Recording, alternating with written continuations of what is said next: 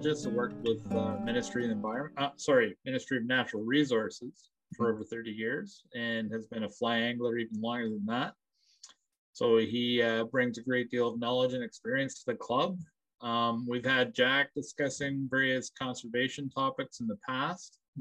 Today, he'll be doing a fly tying session where he'll be showing us some of his weaving techniques for tying flies. So without further delay, hand over to Jack to go through his presentation. Thanks, Jack. Well, thank you very much. And thanks everybody for uh, inviting me to, uh, to chat and tie tonight. Yeah, I thought that uh, when, um, when Brian uh, sent me a note saying, would you like to tie flies? I thought, how could I tie? I mean, there's so many good fly tyers in the club. Um, what, what would be kind of just interesting to uh, think about? And I thought back about uh, two-tone flies. Um, there's a variety of ways of making two-tone flies, laying a, uh, one color over top of the, uh, the, the body and uh, over top of another color and then ribbing it. But then I thought, I remembered um, years ago um, reading uh, an article by uh, George Grant umpteen years ago about um, uh, Bailey's um, woven uh, stonefly that he used out west. And then I remembered uh, tying flies as well in relation to that. So I thought, well, it might be kind of fun to just chat, chat about weaving flies because it's just another technique that you can use if you want to. It's kind of a niggly piggly technique. It can be a real pain in the bum. Uh, my wife doesn't like to stay in the same room, same house when I'm ty- when I'm weaving flies because I'm cursing all the time. But um, it's uh, it's it's it's another technique to use uh, to get that two tone look. And I'll, I'll, show you an example of uh, one of the flies that really lends itself well to two tone. So it looks sort of like that on that side and bright on the other side. And that's just using weaving different materials. And this is, imitates a, a caddisfly that uh, it's a free living caddisfly that lives in our streams. Like you'll find it on the Saugeen and the Credit and a lot of other streams. It's a predatory caddisfly. It's called Rhyacophila fuscula.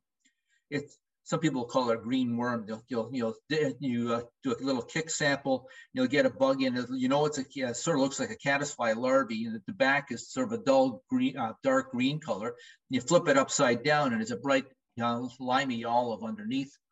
And uh, the fish quite often, uh, that, that's a cue to the fish when that thing is tumbling down down the stream to see that that two-tone uh, flash of color. So weaving does a very good job of um, of um, make, uh, demonstrating that. Another one, of course, are stoneflies with dark body on one side and bright on the other side. So you can you can do that for um, for stoneflies as well, uh, and hellgrammites and a variety of other ones. So I thought for uh, for today's um, presentation and, and, chat, I'd uh, just talked a little bit about weaving. I, I, I thought to myself, because I used to have a book on weaving flies, I'll damn if I can find it. But I thought, well, I'll go to the universal source of all things good and bad in the world. So I went to, onto the internet and uh, all I did was a quick little simple search, weaving trout flies or woven trout flies, and all sorts of resources come up. Now showing the, one of the techniques that I'll show you this evening and other types of techniques as well. Uh, and also there are some books out there on weaving flies if you're, so inclined to, uh, or so a little bit more masochistic than I am even, to uh, try try them out. But weaving is, is a good use, uh, is, a, is a useful um, approach. You can use variety of materials. Uh, the, the, challenge, of course, is you, no, no matter what materials you use, it's a bit of uh, being very dexterous and getting your fingers to do certain things. And I'll, I'll show you the, the technique for the weaving I'll do, and I'll use it on an extra large hook and some heavy duty material, and then I'll actually tie a real fly. But uh, the materials vary. Um, I've used, um, if I can find this up here. I've used uh, this stuff here, which is um, just basically um, the vinyl vinyl ribbing. You can use vinyl ribbing, different colors to get that two-tone look. It's very slippery. So it can be a real pain in the bum to tie with. Um, another one that I use and I have been using is floss. I dropped in, I saw Ray and uh, Ray at the first cast, and then I went over to see um, Scott and Tanya over at uh, uh, and Fergus. I said, Yeah, guys ever hear of um of a braided floss? No, no. I said there must be braided floss somewhere because it would be a lot easier to, to weave a fly with braided material rather than just straight floss. But I've been doing that.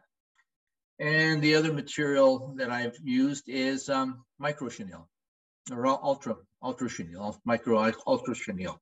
So you can use that. Um, I think Dan Bailey's uh, flies that he designed used horsehair because it's again long strands and it's kind of glossy. So uh, you can use a whole variety of materials. Uh, you're only limited to your imagination and your level of frustration. So it's it, it's kind of fun. So I'll, I'll show you the, the basic we uh. What I'm going to do is I've already tied some material onto a hook, a big hook. I'm not going to, this is not a, a fly per se. This is just a demonstration. And I'm going to flip it over to the, uh, the near view in a moment. So you have two strands you usually tie the, the, uh, the material on it, tie one, uh, the, the bright color on the looking, uh, looking at the, the, uh, the hook side closest to me. And I'll tie the darker material on, on the far side usually. And the weaving is, again, ambidextrous is this goes over top. This goes on, the light part then goes underneath. This one goes over top. The light part goes underneath. It's hard. I'm sorry that my hands are getting in the way. I'm trying to avoid getting my hands in the way. So you weave up and down. So the, the, the bright material is always the bottom part. The dark material is always goes over top. Then you fold it back over, then underneath again. Is um, I thought I'd uh, tie uh, one of these stone flies. So I took the the um, liberty before I before um, the tying tonight, and just got something prepped. So I've got um, the, the, materials on with uh, with the tail as well. I'll attach this, and then we'll show the weaving and the, the remain and, and finishing off the fly. It's so much easier to weave when you don't have a a bobbin with thread in front of you. Unfortunately, you can't tie a fly like that. So, okay, let's see here. So I've got two materials here, and I'm using um, I'm using uh, ultra chenille, which in retrospect probably is not the best material to use because as you know with chenille, if you keep on rubbing it, it tends to, uh, the fine fibers tend to wear off. So uh, I would suggest that in, in the long run, a little pieces of wool. If you can find wool that's nicely tightly wound so that it doesn't pull apart when you're pulling it would be good. Anyway, I'll just attach the uh, the, the um, thread the, the, uh, thread right now. I'm going to keep it forward just to keep it as much out of my way as possible. Okay. So I'm going to weave the body. I'll turn it this way so hopefully you can see some of the activity. So I've got the fibers on both sides. So I'm taking the dark, dark part over top. Be careful here. If anybody has questions, I'm happy to, I can, I can, I can talk and tie and what weave at the same time. So I'm just starting the process. I almost overlap the dark with the previous wines just to make it tight as possible. And are you, notice, Jack, when you're tying the material on at the beginning, are you yep. trying to uh, get like a wide flat body to help the profile more? You or do can. You not worry about not worry about it too much. No, I, I I have done that. As a matter of fact, what I'll quite often do is I'll well, I used to use lead, uh, you know, lead wire. Sure. One on either side to flatten. Of course, now I don't do that. Now I use just regular wire but I will use regular wire wire on the, each side of the hook shank to widen the profile. Right. I didn't. I didn't do it tonight only because I just wanted to keep it simpler. Sure. No, uh, but but, but I mean you get you do get a very nice wide flat profile that's hard to achieve with you know a regular dubbing. That's correct. You do get a very much a much nicer view yeah. using this technique. Yeah. Now, whether that matters to the fish as it's tumbling down the river is another question. But well, that's exactly the point. is does it really does the fish really give a darn? And be honest with you, I mean, I, I suspect the answer is no. Yeah. But you but you never know. So here I'm holding it tight, and I'm going to now you can't see okay there. I'm I'm catching the material. So I have uh, see if I can turn it a little there more like that. Okay, so I've caught the material. So there's my woven body at the back. So brightness on the, underneath. This, so I'm just going to keep this simple. There's all sorts of ways to make coverts and all that sort of stuff. I'm just going to keep it as simple as possible. I'm for the covert or the, the back, I'm just going to use uh, raffia. I've also used uh, turkey quill and all sorts of other materials. So, but uh, tonight, just make it easier, I'm just going to keep it keep it simple. Keep it as simple as possible. I'm trying to listen to Bill Phillips in my head here.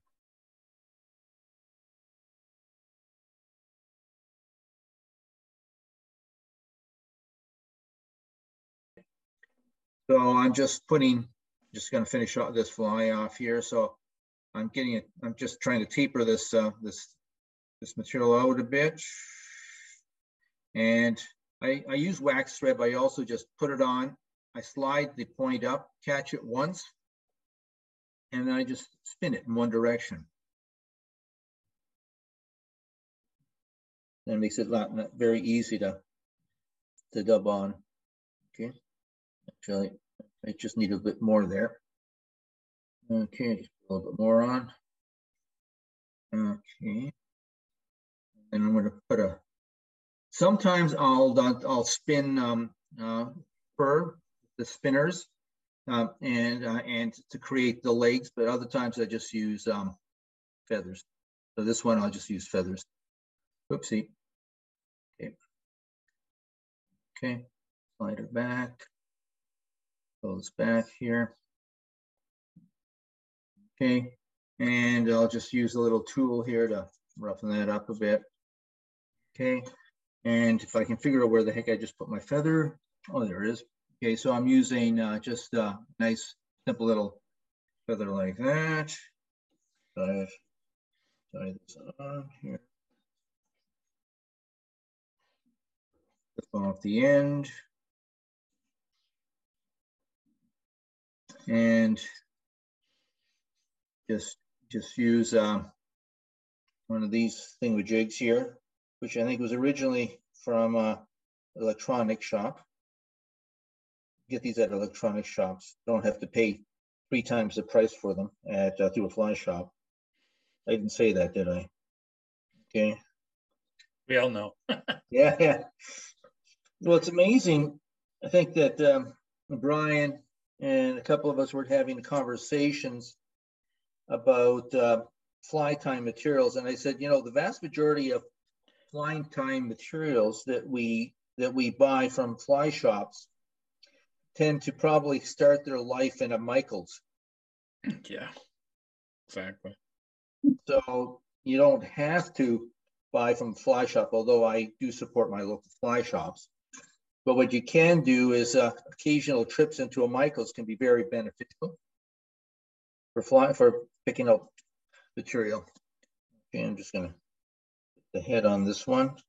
This is not the prettiest one in the world, but it'll it'll do. There we go. Okay.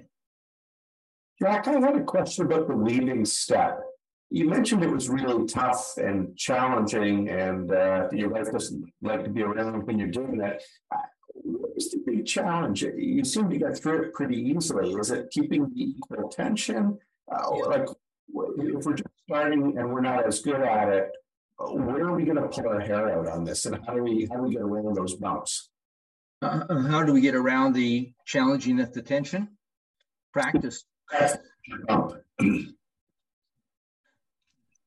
Well, uh, the challenge I find is trying to find the materials that I'm most comfortable using.